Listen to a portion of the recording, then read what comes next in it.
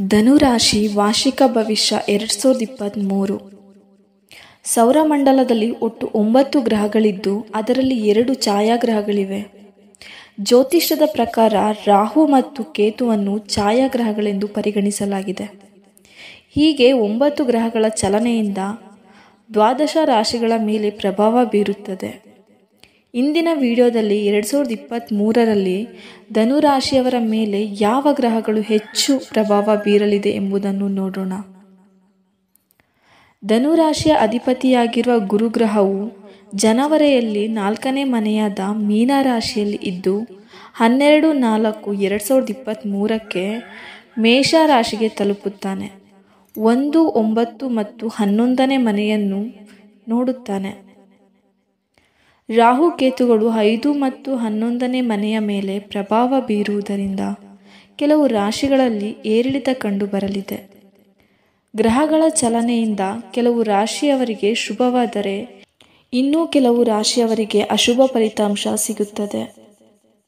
ಧನು ರಾಶಿಯವರಿಗೆ ಎರಡು ಸಾವಿರದ ಇಪ್ಪತ್ತ್ಮೂರನೇ ವರ್ಷ ಉತ್ತಮವಾಗಿದೆ. ಓದುವ ವಿದ್ಯಾರ್ಥಿಗಳು ಶಿಕ್ಷಣದಲ್ಲಿ ಸಾಧನೆ ಮಾಡುತ್ತಾರೆ. ಸಂತಾನದಿಂದ ವಂಚಿತರಾಗಿರುವ ದಂಪತಿಗಳಿಗೆ ಸಂತಾನ ಪ್ರಾಪ್ತಿಯಾಗಲಿದೆ. ವಿದೇಶಕ್ಕೆ ಹೋಗುವ ಕನಸು ನನಸಾಗಲಿದೆ. ಮಾನಸಿಕವಾಗಿ ಸದೃಢವಾಗುವ ಲಕ್ಷಣಗಳಿದೆ. ಪ್ರೇಮಿಗಳಿಗೆ ಈ ವರ್ಷ ವಿಶೇಷವಾಗಿರಲಿದೆ. ಜನವರಿ ಜನವರಿ ತಿಂಗಳಲ್ಲಿ ಧನುರಾಶಿಯವರಿಗೆ ಕೆಲಸದಲ್ಲಿ ಅಡೆತಡೆಗಳು ಎದುರಾಗಬಹುದು. ದಾಂಪತ್ಯದಲ್ಲೂ ಮನಸ್ತಾಪವಾಗಬಹುದು. ಐದನೇ ಮನೆಯಲ್ಲಿರುವ ರಾಹುವಿನಿಂದ ಎದುರಿನವರ ಮಾತುಗಳನ್ನು ಅರ್ಥ ಮಾಡಿಕೊಳ್ಳುವಲ್ಲಿ ವಿಫಲರಾಗಬಹುದು. ಸರಿ ತಪ್ಪುಗಳ ಅವಲೋಕನ ಮಾಡುವಲ್ಲಿ ಹಿನ್ನಡೆಯಾಗಲಿದೆ. ಅನವಶ್ಯಕವಾಗಿ ಖರ್ಚು ಮಾಡುವುದರಿಂದ ಹಣಕಾಸಿನ ವಿಷಯದಲ್ಲಿ ಹಿನ್ನಡೆ ಅನುಭವಿಸುತ್ತಾರೆ. ಫೆಬ್ರವರಿ, ಧನುರಾಶಿಯವರಿಗೆ ಫೆಬ್ರವರಿ ತಿಂಗಳಲ್ಲಿ ತಮ್ಮ ಮೇ ಆತ್ಮನಂಬಿಕೆ ಬರಲಿದೆ. ಮಾಡುವ ಕೆಲಸದಲ್ಲಿ ಪರಿಶ್ರಮ ಹಾಕಿದರೆ ಉತ್ತಮ ಫಲಿತಾಂಶ ಸಿಗಲಿದೆ. ಮಾರ್ಚ್.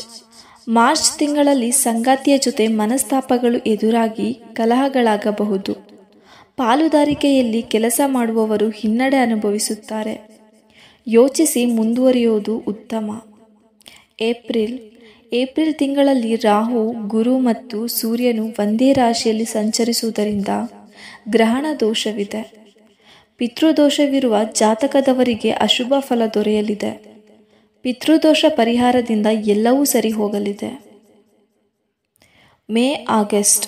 ಮೇ ಮತ್ತು ಆಗಸ್ಟ್ ತಿಂಗಳ ನಡುವೆ ರಾಹು ಮತ್ತು ಗುರು ಒಂದೇ ರಾಶಿಯಲ್ಲಿರುವುದರಿಂದ ಗುರುಚಾಂಡಾಳ ದೋಷ ರೂಪುಗೊಳ್ಳುತ್ತದೆ. ಕುಟುಂಬದಲ್ಲಿ ಏರಿಳಿತ ಕಂಡು ಬರಲಿದೆ ತಪ್ಪು ನಿರ್ಧಾರಗಳಿಂದ ಪೇಚಿಗೆ ಸಿಲುಕಬಹುದು. ಆಲೋಚಿಸಿ ಅವಲೋಕನ ಮಾಡಿ ನಿರ್ಧಾರಕ್ಕೆ ಬನ್ನಿ. ಸೆಪ್ಟೆಂಬರ್ ಸೆಪ್ಟೆಂಬರ್ ತಿಂಗಳಲ್ಲಿ ಹಿತಶತ್ರುಗಳು ನಿಮ್ಮ ವಿರುದ್ಧ ಪಿತೂರಿ ಮಾಡುವ ಸಾಧ್ಯತೆ ಇದೆ. ವ್ಯಾಪಾರದಲ್ಲಿ ನಷ್ಟವಾಗಬಹುದು.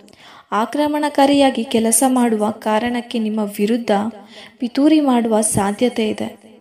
ಸ್ವಲ್ಪ ಎಚ್ಚರಿಕೆಯಿಂದ ಇರಿ.